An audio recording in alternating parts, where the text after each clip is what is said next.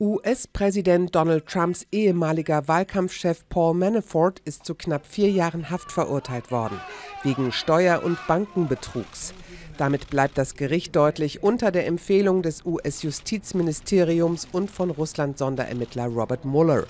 Diese hatten zwischen 19 und 24 Jahren Haft gefordert. Es ist die erste Verurteilung im Zuge von Muellers Untersuchungen. Allerdings ging es in dem Verfahren nicht um Vorwürfe hinsichtlich Manaforts Tätigkeit als Trumps Wahlkampfmanager oder mit Blick auf eine mögliche Einmischung Russlands in den US-Wahlkampf.